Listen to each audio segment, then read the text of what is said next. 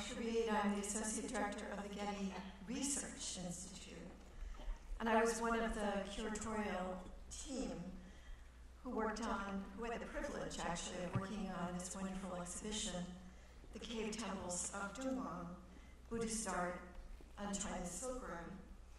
The exhibition features more than a thousand years of Buddhist art, and you can see or probably have seen exceptionally fine examples that we borrowed for the show that are more than a thousand years old themselves from European institutions.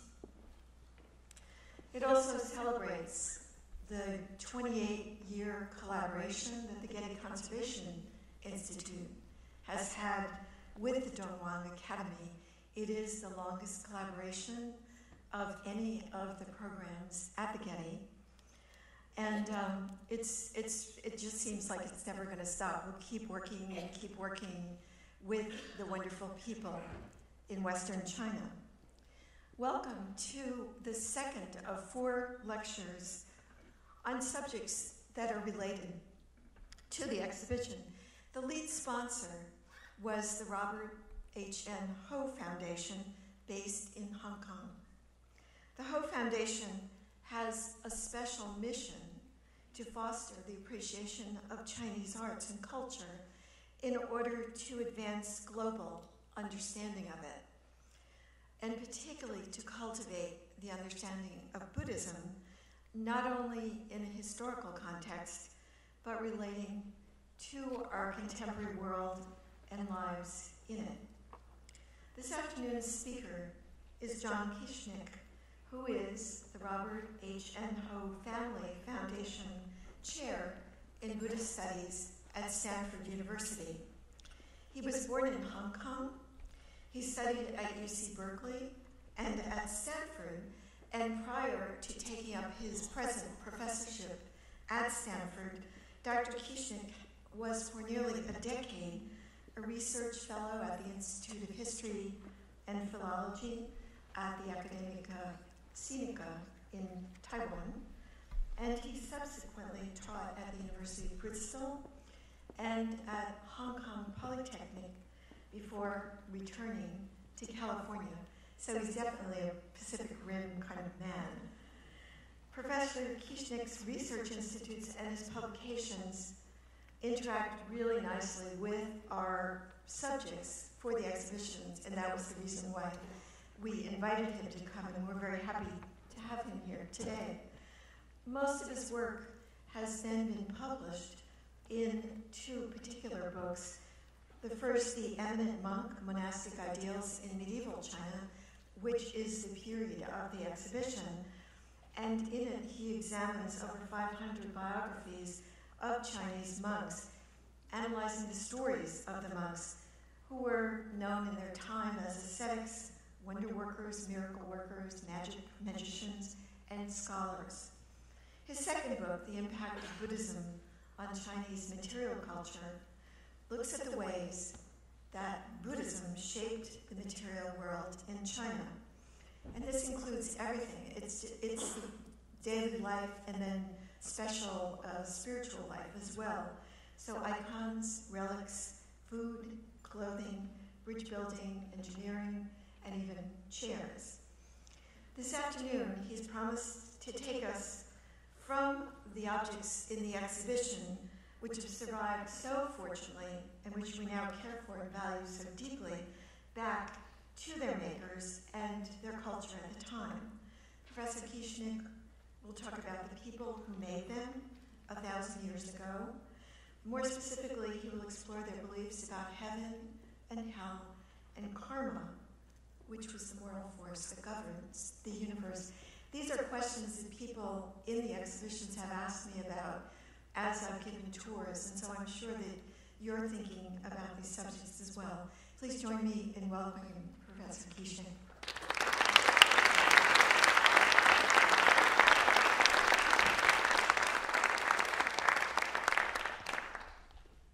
Um, thank you, and thank you all for coming.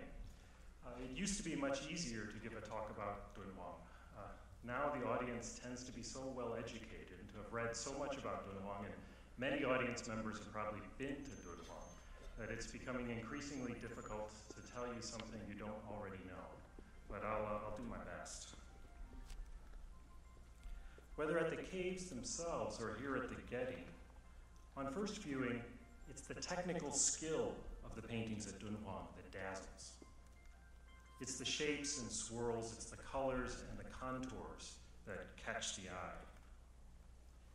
Beyond technique, with uh, close to 500 large painted caves cut into the cliffs, plastered and painted over the course of um, a thousand years, the scale of the whole elaborate complex is consistently awe inspiring. The same holds true for the documents discovered at the beginning of the 20th century. Hidden away in a sealed cave for close to a thousand years, manuscripts from Dunhuang give the same impression of skill, artistry, and magnitude. Tens of thousands of handwritten manuscripts survive from that sealed cave, some in exquisite calligraphy on paper, a Chinese invention that by this point could yield some very refined specimens. So I hope as you go through the exhibition, you'll look not just at the, uh, the images on the paper, but at the paper itself. Other manuscripts are among our finest examples anywhere from the birth of printing. And among the manuscripts in the cave, there were also scrolls painted on silk. Itself, yet another Chinese invention that, like papermaking, it was a craft that had reached uh, great heights of sophistication, as you can see here. So we're lucky in this exhibition to have examples of all three of these, or four. We have examples of, of excellent calligraphy, we have examples of very fine paper making, and also very fine silk making as well. Now, you don't have to be an expert to appreciate the line and composition or the, the color of the paintings or the precision of the printed, printed scriptures. But the more you know about the aesthetic standards of how Chinese painting was judged, or about what made for good calligraphy, or about the craftsmanship of making paper, or the craftsmanship of making silk, uh, the more you can enjoy an exhibition like this one. Nonetheless, aside from craft and aesthetics, we can also look to this exhibit to explore belief and that's what I want to do today to look at this exhibition as a window on the beliefs of the people who created these caves, paintings, and manuscripts. In particular, I want to see how much we can learn about their understanding of and speculation about the afterlife. How did karma and rebirth work at Dunhuang? And how did the vision of the afterlife we see in Dunhuang reflect the day to day lives of the people who lived there? But before we get to the afterlife, let me first introduce our cast of characters. Whose beliefs are we talking about here?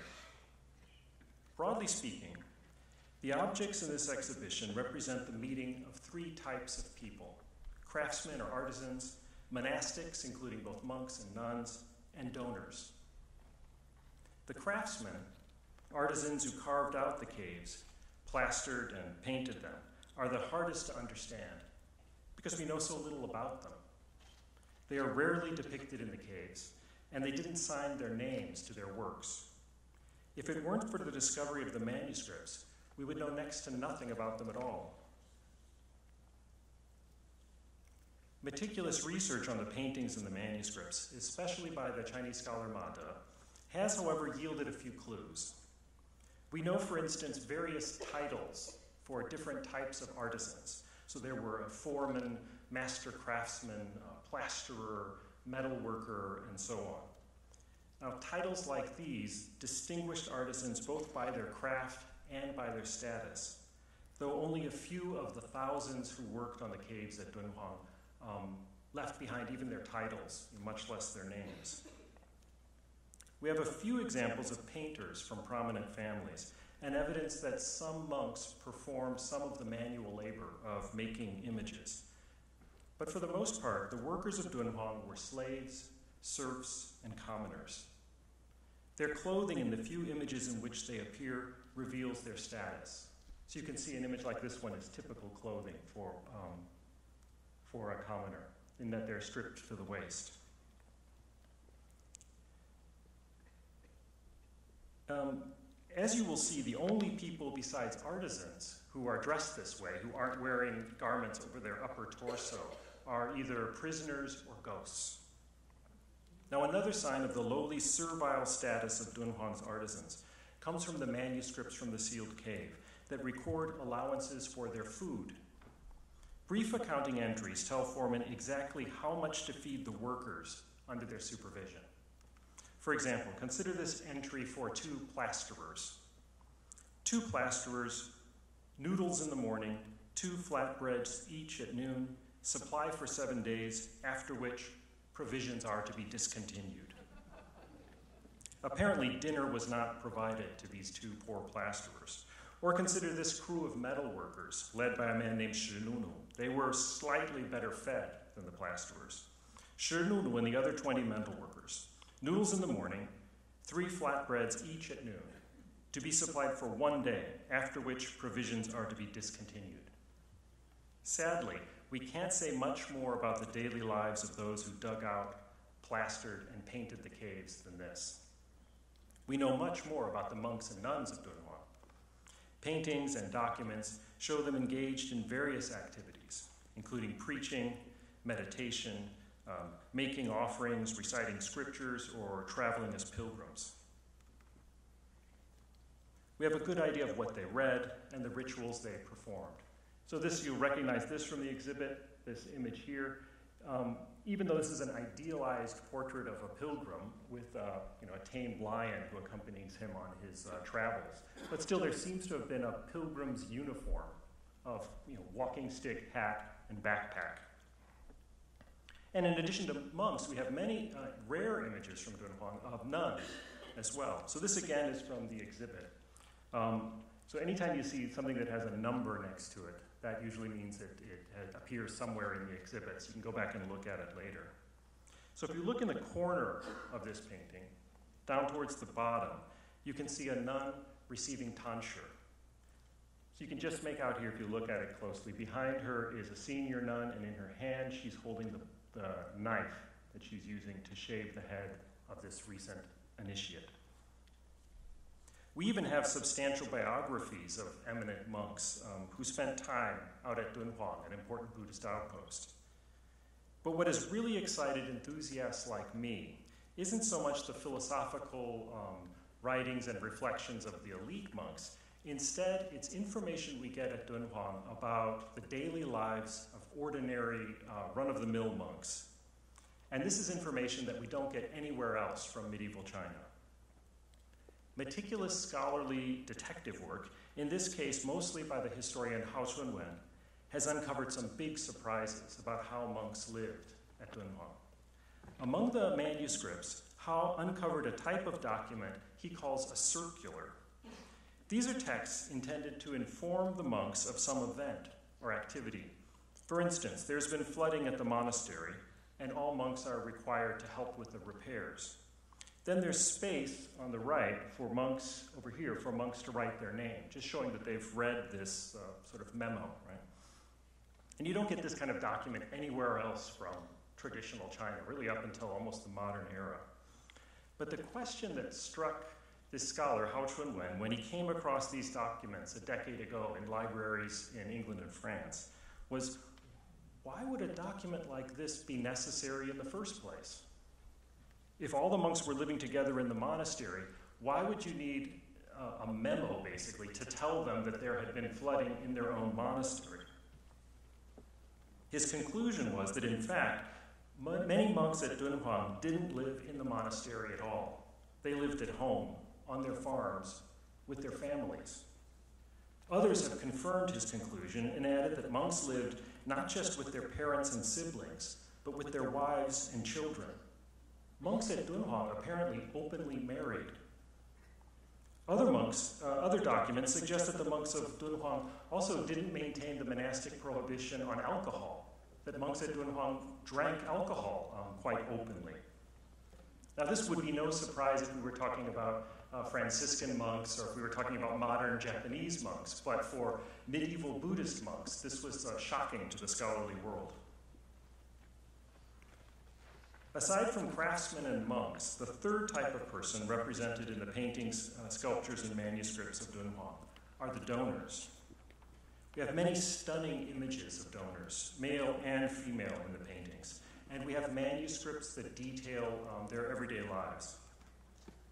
Aside from paintings and manuscripts, there are approximately 7,000 inscriptions in the caves, most of them recording the names of the donors who paid for the painting and sculpture and left their portraits behind. Portraits like these that testify to their style and their status. These three groups of people, artisans, donors, and monastics, interacted at Dunhuang for centuries.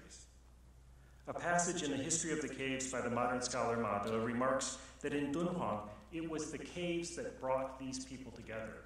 These types of people that ordinarily wouldn't have interacted, interacted in order to make these caves. He says it was as if they were all clinging to the same rope. But beyond the work of making Buddhist art, these different types of people, from the artisan in a loincloth living on, what was it, two flatbreads each day for lunch, to the elegant uh, gentleman or lady of distinction, they also shared in rough outline a common vision of the afterlife that motivated their actions.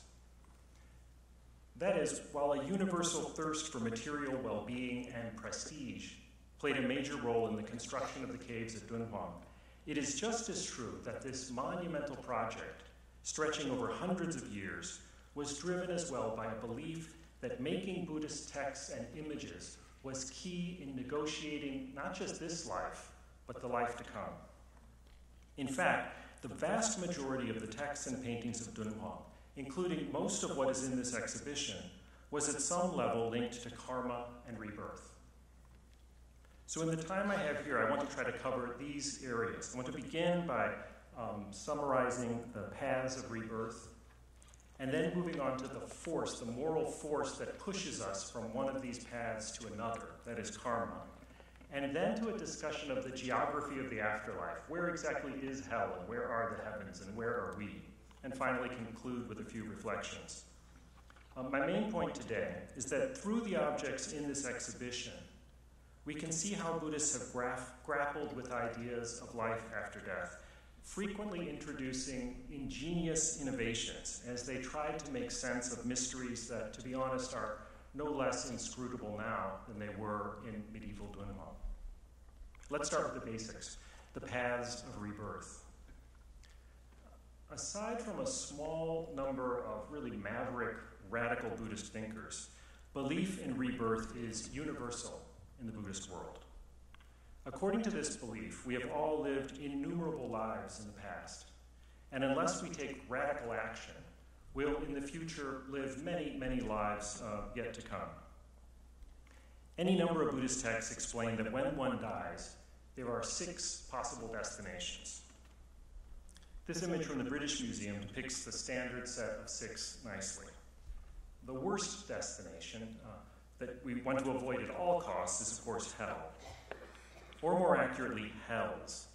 So Buddhist texts give various numbers of hells. According to some texts, there are 16. Others give as many as 136 different types of hells. Here we see one of the hells in which sinners spend countless years being boiled alive, while a menacing half ox, half human monster stirs the pot, prodding them with a trident. In others, like this one, uh, also from the exhibition, the sinner is nailed to a hot iron bed with 500 nails. So, this is the hell of 500 nails. You are nailed to this hot bed uh, with this, again, one of these monsters prodding you with a stick. There is a hell of the river of ash, in which sinners are plunged into a gray world of ash and embers and forced to tumble down a boiling river while monsters on the, bank, on the banks prod them with spears. There's a hell of jackals and wolves, in which the sinners are chased by ferocious jackals and wolves, driven up the banks of a riverbed until they reach trees. And they begin to climb the trees when they realize that the branches of the trees are, in fact, themselves razor sharp uh, blades. So that as they climb the trees, their fingers and hands are lopped off and they fall back down to these ferocious jackals and wolves. Um, in that same hell, there are also ferocious birds with metal beaks who poke holes in your skull and suck your brains out. There's a, hell of uh, metal, hot metal pellets, in which again these half ox, half men heat up hot balls of metal and pour them down your gullet. There's a hell of bubbling excrement filled with these tiny, ferocious little white creatures that bore into your flesh.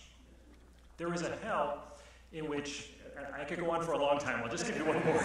There, there, there's, there's a hell in which, on being born there, you realize that your own arms are these razor sharp blades, and you have an irresistible desire to attack all of those around you, who also have arms made of razor sharp blades. So then begins a giant battle in which you all hack each other to pieces, after which everyone seems to die, but then a cool wind blows across the hell, and all the beings find themselves reconstituted once again with the same blades for arms, and it all begins all over again. And so this process goes on over and over again for hundreds, thousands, even millions of years of daily perpetual slaughter. So, in short, Dante was not the only master conjurer of images to haunt the worst nightmares of the morally suspect. So let's leave this horrible area and move up to a slightly less terrifying realm, still quite terrifying, which is the realm of hungry ghosts. Hungry ghosts wander the earth, desperate, starving, unable to satiate their persistent and unending hunger. Even today, monks in China carry out a ritual for hungry ghosts every morning. So if you have breakfast in a monastery, the monks will chant scriptures and at the end of chanting scriptures, but before beginning to eat their breakfast, one monk will take a single grain of rice or a single um, piece of noodles, depending on what they're having for breakfast, say a prayer over it, take it outside of the monastery, and toss it to the hungry ghosts who are invisibly waiting outside the monastery to eat. And the belief then is that by saying this prayer, by having a, a, a monk meditate and say a prayer over the food, it is uh, increased in quantity exponentially in the other world, giving some brief respite to these uh, pathetic creatures outside. Now, you'll notice that at Dunhuang, hungry ghosts are almost always depicted as poorly dressed, balding men with disheveled hair. And if you look at the images at the exhibition, uh, if you go back to look at them, look especially at hair, and you'll notice that gentlemen have lush black hair tucked neatly under elegant hats. This is very, Chinese men were very particular about their hair in traditional China, and actually, even today, are quite particular about their hair. Um, at barbershops, it's standard for all middle aged men to have their hair dyed. So, given those circumstances, especially in ancient China when you were supposed to have very neat, long black hair, to wander the earth bald, hatless, and uncombed was literally a fate worse than death. I think I should pause for a moment of solidarity with all the bald men in the audience. Our, our people have been persecuted for centuries, as you can see. Um, next on the scale of misery are animals. Animals are generally to be pitied. They're either enslaved to humans as beasts of labor, or they're killed for their flesh. In fact, the best destination, according to Buddhist scriptures after death, is to be reborn as a human once again. As humans, we have the best chance to learn about Buddhism, the best chance to shape our future through the decisions we make. So, as you can imagine, if you are in hell being chased by jackals, you have little time to learn much about anything or to make uh, considered decisions. As humans, we have the best chance to one day achieve enlightenment, become Buddhas, and, transcend, this tedious cycle of death, rebirth, death, rebirth again. Nevertheless, some could be forgiven for hoping instead to be reborn as asuras, demigods, or better yet, as full fledged gods. Because while it's true that both will eventually be reborn in other realms, the gods live long lives in spectacular settings surrounded by beauty and creature comforts. In sum, all but the enlightened, Buddhas and Arhats, are trapped in this cycle this gives hope even for hell beings, who will one day, even if it takes millions of years, burn off their bad karma. They'll pay off that moral debt and rise to be reborn as humans again. But it also means that even the long and leisurely lives of gods have their limits. In the end, the last remnants of the good karma that they accumulated will also evaporate, and they will sink down to be reborn among human beings again. And depending on the choices they make when they are human beings, they could sink even farther. So, what I just showed you is the standard set of possible rebirths.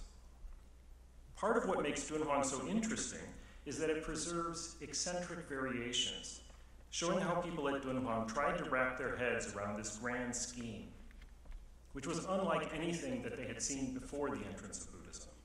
So, before Buddhism came to China in roughly, let's say, the year one, notions of the afterlife were vague and unsystematic. And archaeologists today are still attempting to puzzle out just what the first emperor was all about when he made this elaborate tomb and his underground army of terracotta soldiers.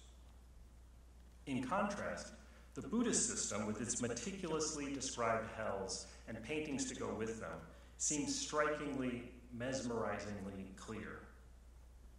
Nonetheless, Dunhuang shows that even the seemingly comprehensive airtight system that I just showed you of the six destinations while it claims to contain all beings, can't in the end contain the religious imagination. For instance, David Neil Schmid has drawn attention to strange variations in the standard model of six paths at Dunhuang, one of which you can see as a part of this exhibition in the painting of Kshitigarbha and the Ten Kings. Here again, if you look closely at the part here in the middle, you can see five of the standard destinations the destinations are one coming off right here. Here you should now recognize hell. And again, we have a sinner in a pot of boiling liquid being skewered by a spear. Um, above are the hungry ghosts. And if you look closely, you'll no- notice that they are, in fact, balding. They're, they're half naked, but they have unkempt hair on either side of the bald spot. We have animals uh, including one of the many oxen that I'll show you this afternoon. There are a number of depiction of oxen to look for in the exhibit as well. And humans. Well dressed, nice cap for the man, great hair for the woman. And finally, asuras. But what's peculiar is that where we would expect to see gods, we see instead these two people being escorted above by a Buddha. Now, we might take this for a mistake. The six paths are all supposed to be subject to rebirth, and Buddhas are supposed to be outside of the system. I mean, part of what makes them a Buddha is that they are no longer reborn into one of the six paths. But this same motif appears elsewhere at Dunhuang. So, again, these are the paths coming out here.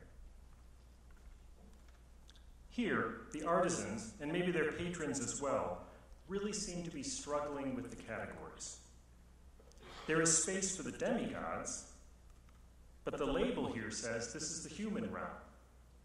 And having skipped the realm of the gods for Buddhas and the demigods for humans, uh, this painting adds an entirely new category the realm of serpents.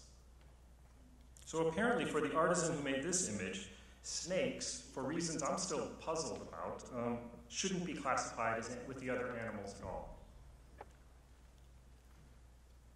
Setting aside the exact content of the various paths, the force that propels us from one birth to the next and determines where we end up when this life expires is karma.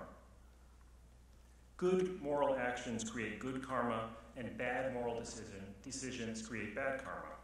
At the end of our life, it's the balance of these two good karma, bad karma that determines where we go next. Uh, there's no definitive list in extensive Buddhist scriptures for what constitutes good karma and what bad. Most of it consists of um, fairly universal ideals of, of moral behavior. So, murder creates bad karma, assisting others in times of need is good. But some particular activities are singled out. So, this is from Cave 296, and it's based on a scripture which explains the benefits of six types of activity.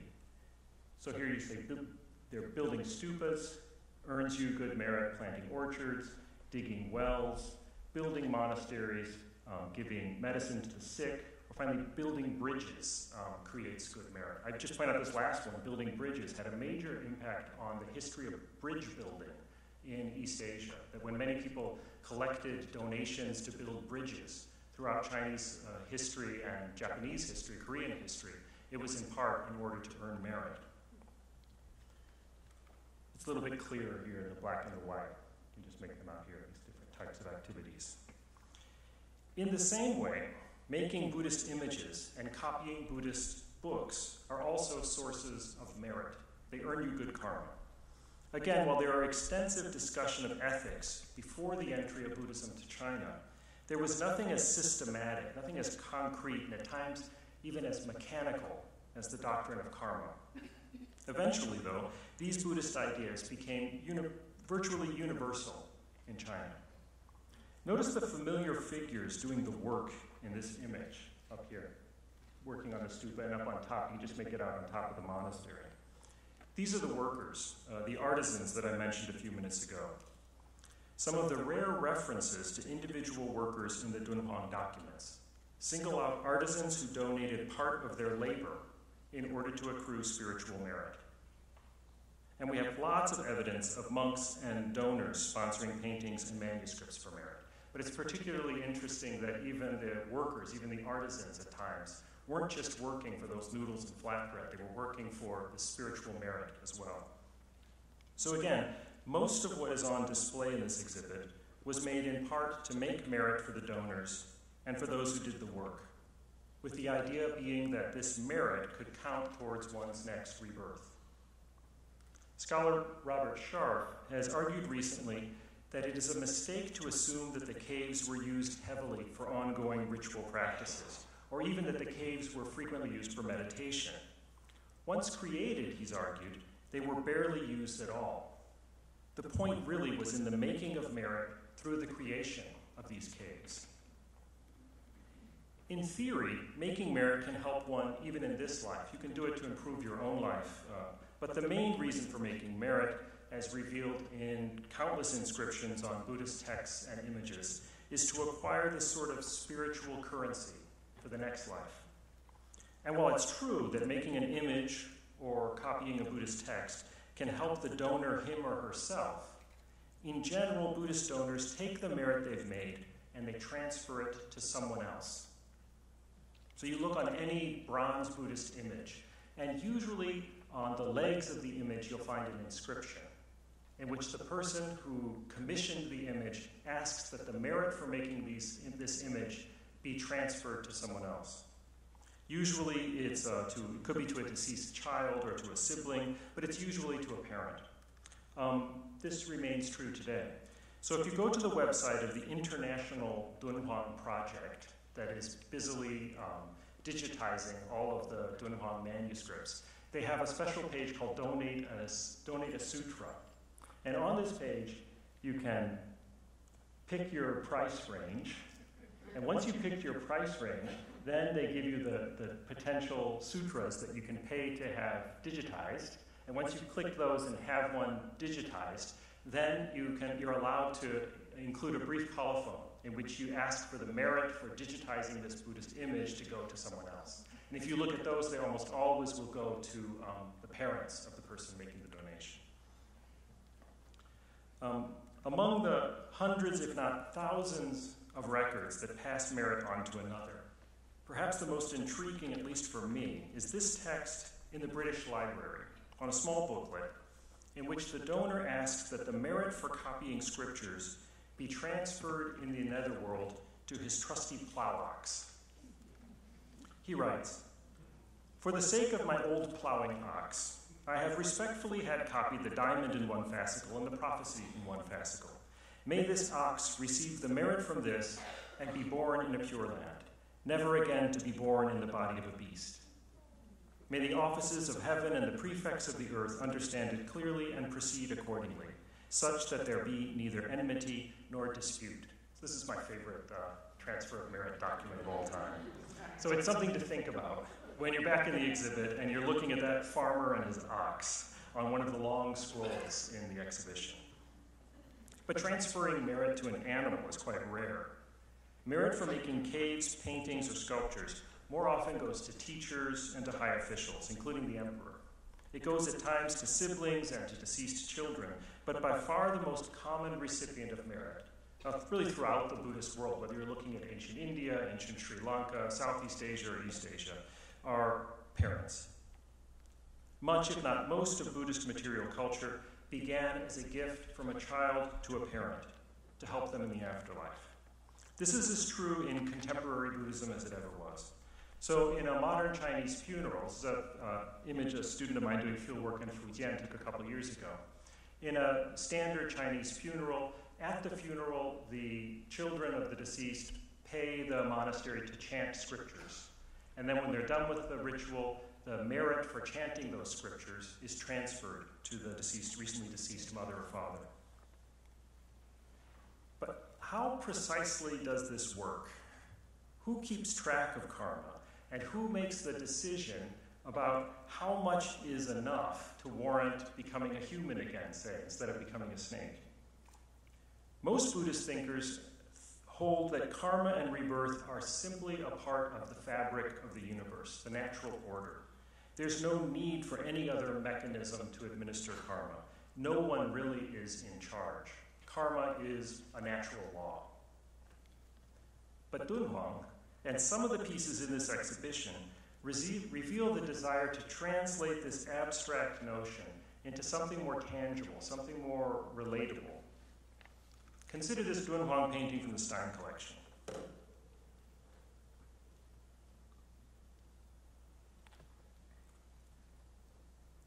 In the Chinese conception at Dunhuang, karma isn't an impersonal force built into the cosmos. It is instead part of an underworld bureaucracy administered by officials and their staff with brush and paper, documents and procedures administered from, from behind a big imposing desk. After death, we can expect to be taken before a magistrate, or at times a series of magistrates, charged with assessing our lives and assigning our next rebirth. Now, there are a number of key figures you can see uh, even in this image. First of all, we obviously want to avoid the fate of the poor man on the right and the two men in front, who are dressed like beggars, or as we've seen, dressed like workers, trapped in a cangue, and in one case, whipped by the magistrate's assistants, even before he's assigned to his next life. Presumably, they lived wicked lives and are destined for punishment in one of those hells I described earlier. Our model should instead be the woman up front, properly dressed with tidy hair carrying an image of a Buddha, just the sort of behavior that earns good karma. I like her chances before the magistrate. The figure next to her is a minor official who carries in his arms documents that record the deeds the woman carried out in her lifetime, good and bad. So you can make out very clearly the different scrolls, which are wrapped in a sutra wrapper. So both uh, you know, thousands of scrolls like these were discovered in the cave at Dunhuang. But among them also were discovered these uh, elaborate sutra wrappers that hold them together. In another part of the scroll, we can see the same woman at a different stage of her bureaucratic journey through the courts of the afterworld. Here you can see more clearly that the judge is going over documents related to a case. Also in this image, you'll notice two figures standing next to the judge. Here, they seem to be two girls but at times you see two boys, or a boy and a girl. These are the children who tag along with you invisibly throughout your life, observing your actions. One notes all of your good deeds in, their, in her ledger book, and the other notes all of your bad deeds. I think there's something very powerful in this conception, especially for parents who know that their children observe them both in their best and all too often their worst moments. In fact, we saw these two troublesome little tattletales earlier in the corner of another painting that's in the exhibition. Note especially the scrolls. These are the ledgers of good and bad deeds that rest in their hands. But let's say the children missed something you did, or introduced errors into their logbooks. Just to make sure, in the Dunhuang imagining of the other world, the judge had recourse as well to a clever device known as the karma mirror that reflects actions the recently deceased took in life. In this case, the recently deceased man looks to be in a tight spot as he sees in the karmic mirror a moment in his life when he raised his fist against a monk. In the following painting from the Guimet, you see a similar case of a poor man, now in a cangue and stripped of his clothing, forced to confront the time he slaughtered an ox. All of these elements come together in a single frame from the scroll of the Sutra on the Ten Kings can see in the exhibition. Here, we see the judge, the ledger of good deeds and bad deeds, the attendant official waiting for instructions, the two children who have spied invisibly on this man his entire life, and the man himself, again in these stocks, in this Kangen loincloth. Judging by the image in the karma mirror, his prospects too are bleak. In keeping with our sub theme of oxen, the mirror shows that when alive, he once slaughtered an ox. So if you look closely, you can just make out, you can't quite see it here. If you go back to the exhibit and look at it, you can just make out the meat cleaver he has in his hand. The frame just to the left in the same scroll in the exhibition tells a more cheerful story. Here we see one official peeking over the walls of one of the many hells to catch a glimpse of the horrors inside. So at this point, you should recognize this, right? So he's looking at this hell, which I think you can just see is again that hell of the 500 nails, of someone who's being nailed to a scalding, white hot metal bed. But our chief protagonists, and this is why I say it's more cheerful, uh, are a man and a woman who are being whisked away on clouds to a more pleasant destination. Perhaps this is because they lived lives of devotion and compassion, or maybe it's because their relatives stepped up and contributed to building a Buddhist cave, or making a Buddhist painting, or even copying out an illustrated Buddhist manuscript like this in their honor. Oops. Devotees at Dunhuang weren't content to imagine scenes from the bureaucracy of the other world even with detailed paintings like the one we just saw. They wanted to know just how it all fit together, where they were, and where deceased relatives might be. In other words, they wanted a description of the world that included all of the realms I've discussed so far. They wanted the whole picture altogether. Buddhist scriptures were transported from India to China over the course of centuries, and in China they were translated into Chinese as part of the Chinese Buddhist canon, which I think is the, the greatest translation project in the history of the world, really, the translation of Buddhist scriptures into Chinese. Some of these provide detailed textual descriptions that lay out the structure of the cosmos. And some of the most important of these texts were well known at Dunhuang. But beyond this, artisans, perhaps in conjunction with monks and probably sponsored by donors, went a step further. They made a map. This is a map of the cosmos, now in the National Library in Paris. Um, this particular piece isn't in the exhibition, so fortunately we all still have a good excuse to go to Paris. Starting from the bottom, our entire world system floats on a disk of wind, and the force of this disk of wind supports a disk of water, which in turn supports a thick layer of gold. This is the foundation not just for the world of humans, but for the hells, the heavens, and everything else. Above this, on the ground floor, are the gates of hell. In some texts, the hells are located not below us, but on the same level, just far, far away, beyond the most distant mountain range that rings our world. Again, it's wrong to speak of hell in the singular. There are many hells, each with its own characteristics. In some texts, depending on their karmic debt, when sinners have spent vast stretches of time suffering in one hell, they are permitted to die, only to be reborn in yet another hell, and so on through various hells, such that it is only after many lives that a truly depraved sinner has finally worked off enough bad karma to have a chance to be reborn at a higher level. It makes sense that there's a separate gate for the hungry ghosts who, according to some, are only allowed to roam among the world of humans during certain times of the year, in China, particularly during the annual Ghost Festival. But more puzzling, at least to me, is that animals are placed here rather than among humans, This suggests that perhaps the map is only partly locating space, and as it is at the same time a map of concepts, and even maybe a map of psychological states. This, briefly, is our world, right here. We all live on this continent. And according to this traditional Buddhist conception, there are four major continents. You can't see one, it's behind the mountain here. Everything the people of Dunhuang knew, all of the lands of their world, including India and China, all of the people of the world are here, on a single continent surrounded by water, itself surrounded by a vast mountain range.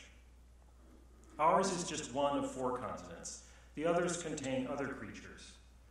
But again, we are lucky to be here, since this is the only continent on which a Buddha can appear.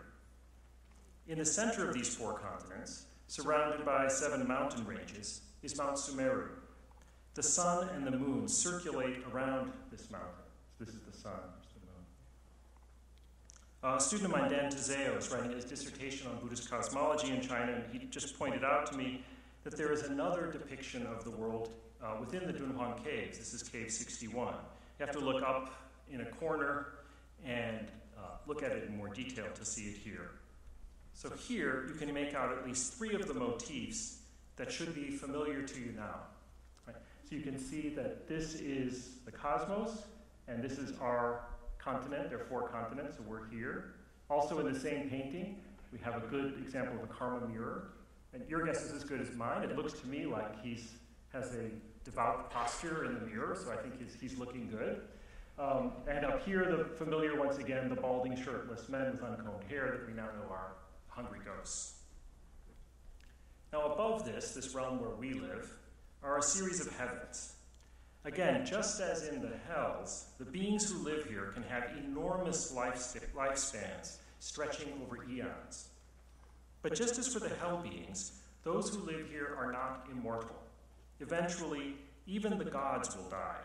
Even the gods will exhaust their karma and fall farther down the scroll. As you can see, there are many levels of heaven. Descriptions of them in Buddhist scriptures explain that they become increasingly ethereal or abstract the farther up they go. And if hell allowed a space to imagine us at our most brutal and savage, the heavens provided a mental space to explore the reaches of the most refined. High up above the celestial bodies, above the sun and moon, gods note the passing of days not by the rising and setting of the sun, but by the opening and closing of flowers. In one of the heavens, we're told that the gods no longer communicate with sound. They're too refined to use sound to communicate. Instead, they communicate only with light. In one of the higher heavens, male and female gods, in place of intercourse, need only hold hands. In a higher heaven still, laconic gods need only exchange a few words. And in a higher heaven yet, there's no longer a distinction in gods between male and female. These are strange and wonderful worlds that even today stretch the imagination. My hope is that by this point I've provided enough information to inspire at least a few of you to return to the exhibition, or maybe to crack open the exhibition catalog. This time to look at the pieces in the exhibition for clues as to what was happening behind these objects, how monastics, uh, donors, and artisans imagined the afterlife. If you look closely, you should find evidence for the karmic mirror and the two children who record our actions, the realms of hell and hungry ghosts, and the foundations of belief in rebirth and karma. And I hope I've summarized Buddhist views on the afterlife afterlife enough to give you some context when you look for these motifs. But at the same time, I want to emphasize that at some level, everyone imagines the afterlife differently. We each adapt our vision of the other world to suit our own needs. We've seen how some artisans at Dunhuang tinkered with the six part formula to create a separate realm of rebirth for snakes. How they imagined an underworld bureaucracy in which clerks keep track of our lives with brush and paper. Some located the hells beneath us, and others were sure that the hells must exist so horizontally, uh, far, but far away, beyond the most distant mountain ranges. And Buddhist thinkers grappled with the details of just how all of this works. For instance, the Abhidharma Kosha, preserved in part among the Dunhuang manuscripts, raises the question of how to assess the karma of those monsters that act as wardens of hell. So these figures have come up a number of times. They're always described as having ox heads and human bodies. But they're absolutely essential for maintaining order in hell and also for contributing with their spears and their frightening demeanor to the suffering of the sinners they oversee. But this raised a problem for our Buddhist exegetes, who asked if by torturing the damned, these half animal, half human monsters, aren't they themselves creating bad karma? And if that's true, aren't they stuck in a kind of a karmic loop in which they're constantly creating bad karma that will keep them in hell forever? Doesn't this defeat this basic principle of your ability to move from one destiny to the next? And this hardly seems fair, given that they are really just following orders. They're doing their jobs, they're, they're humble foot soldiers in a vast netherworldly army. Now, the exegetes propose various ingenious solutions, including the suggestion that the wardens of hell aren't sentient beings at all, but are instead a kind of automaton that are propelled by the collective karma of all sentient beings. Or better yet, that they are illusions created in the minds of. For another example of this sort of variety, in China, storytellers reason that if the afterworld is a bureaucracy, it must follow that it is subject to the same sort of corruption, mishaps, and blunders that plague any large bureaucracy. This is a realization that inspires stories of the wrong people dying before their time because of clerical errors. So there's a famous, there's one famous story of these two uh, officials who were sent from the other world to bring down a soul, but they found that the man they were supposed to bring back down to be judged was reciting the Diamond Sutra. And because he was reciting the Diamond Sutra, he was surrounded by this powerful aura. And they, they noticed that there was someone else in the next village who had the same name as he did. So instead, they went and got the other guy from the other village and took him down. So there are any number of stories like this in, in uh, Chinese popular literature. Now, up in the world of the living, Buddhist writers, including both laymen and monks, debated as well the consequences of eating meat, to just give one example of ethical quandaries. Uh, Buddhists attributed bad karma traditionally only to the butcher who slaughtered animals, and not to those who ate the, the meat that the butcher prepared. But from the 6th century, some in China began to argue that those who purchased meat from the butcher were themselves complicit in some way in the killing of the animal, and hence should reap the consequences of that bad karma. This argument, along with the realization that the animal you eat now may in a previous existence have been your mother, led eventually to establishing vegetarianism as the norm for Buddhism in China, at least for monks and nuns. In conclusion, my point is this. The paintings, sculptures, and texts of Dunhuang reflect that the afterlife was on the minds of the people who created them. These are concerns that permeate the objects in this exhibition. In the variety of ways they expressed their beliefs, we see them all the monks, the donors, and the artisans grappling not just with where we go after death, but also with what it means to live a good and meaningful life. Now, this is the uh, conclusion of my talk, but if, uh, I can, if you'll give me just one more uh, minute. Um, my, my, parents drove up from San Diego to hear me give this talk, and as any of you who have driven uh, I 5 in traffic know, there are levels of hell that even the of Dunhuang could, could not have imagined. So, um, if there is any merit in a PowerPoint presentation, I know it's not much, I want to donate the merit to my parents for coming up to see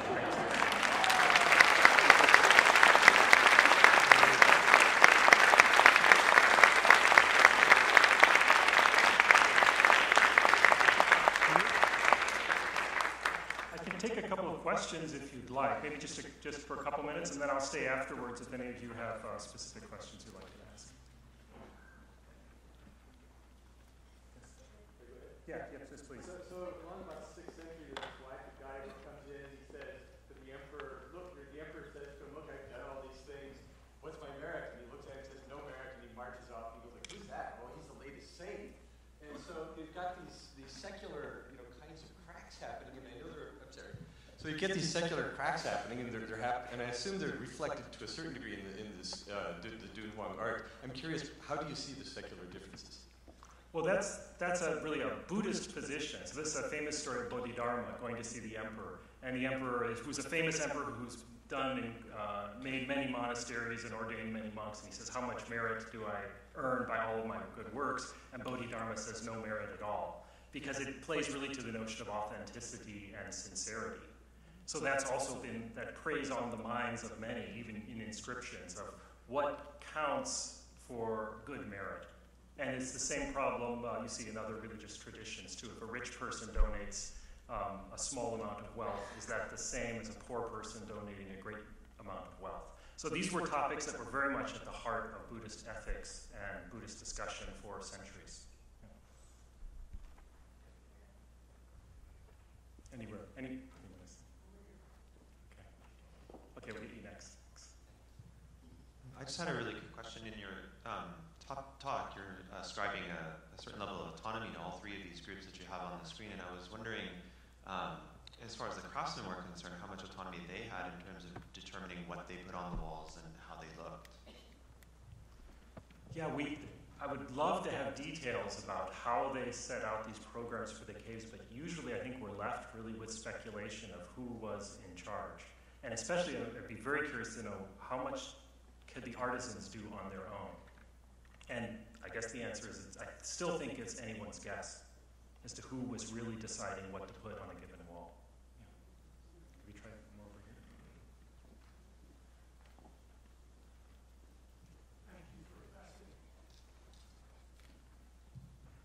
here? Thank you for a fascinating talk.